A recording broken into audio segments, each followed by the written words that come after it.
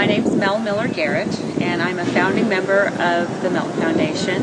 And by founding member, it means I was one of the original fellows selected to be part of the foundation back in 1991. Um, so, subsequent to that, I've been involved in the foundation in a number of ways. I was a junior fellow, I was the first junior fellow rep to the board, and um, went through all the kind of training programs we had in the early 90s, which was primitive in comparison to what we have now. And currently, I serve on the board of directors. So, what is Melton Foundation all about? Well, to me, what the Melton Foundation does is really three pronged. And the first is it identifies uh, young people that are primarily in, emergence, in emerging economies and helps inform them as to the impact of the choices they make and as to the impact what they do with their lives. I think we're at a point in history where the question isn't, am I making an impact? The question is, what is my impact and what do I want my impact to be? So, secondly, um, we take those young people and we give them opportunities to develop skills by providing specific training, opportunities to connect and be exposed to great thinkers and emerging leaders of our time.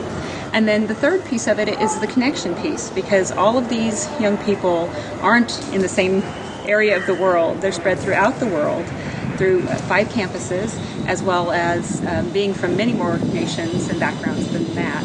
So it's happening happening in an atmosphere of being connected with people from all around the world. So as we're equipping them to develop the capacity to come up with shared solutions to global challenges, they're doing it with people who might have a different perspective or insight because they might be living that challenge every day. So, since you've said that you walked through all these various levels at, at, at Melton Foundation, how did you walk the talk in your business life, in your life outside Melton?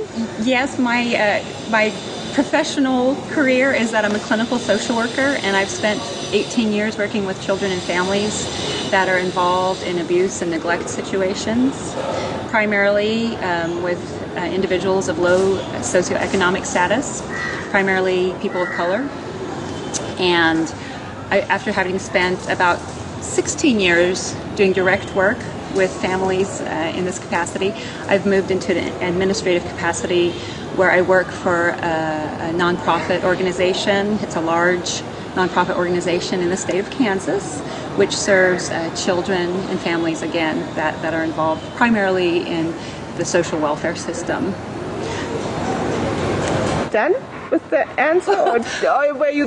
Well, I think I think the way in which I find the thread of the Melton Foundation weaving through my life, and I'm not sure if it's that the foundation made me who I was, or that the foundation and I found each other because who I am fit with the foundation, probably a little bit of both. But um, it gave me a, a background that allowed me to be open to other ideas about how to be in the world, to not just have the solution to give other people, but to help people find their own solution, um, to be open to other perspectives, to understand that the way people live may not be logical to me when you deal with people who faced trauma, um, but it makes sense from the position of trauma that they've experienced. So the ability to think uh, with have critical thinking skills to address the problems of human interaction as well as the larger kind of systemic issues that I face.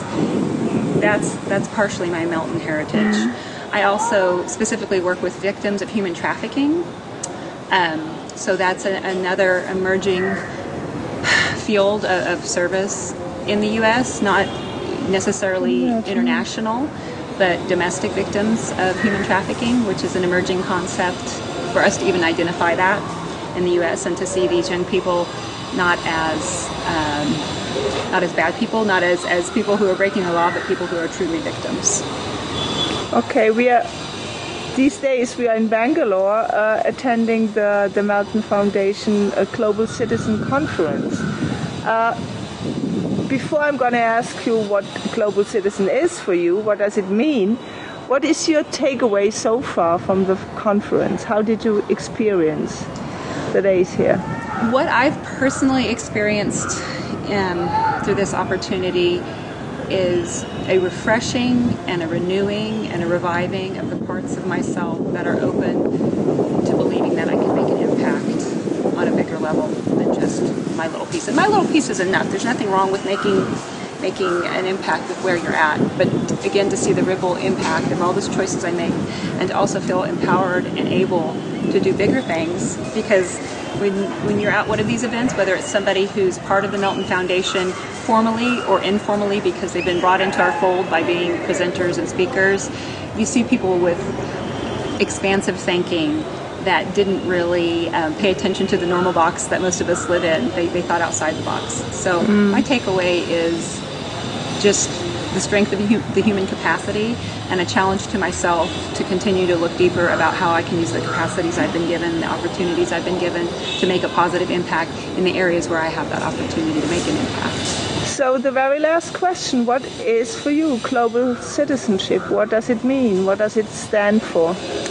To me, a global citizen is someone who is aware of his or her impacts, not only on him or herself, but throughout his or her community, state, nation, world, and to recognize that we don't make impacts just because impacts happen because it's a ripple effect, but we can actually direct those impacts, that we make choices every day that move us in one direction or another in terms of the impacts we make. So the awareness, um, making informed decisions about what we do with the power that we have. Thank you. Thank you so much.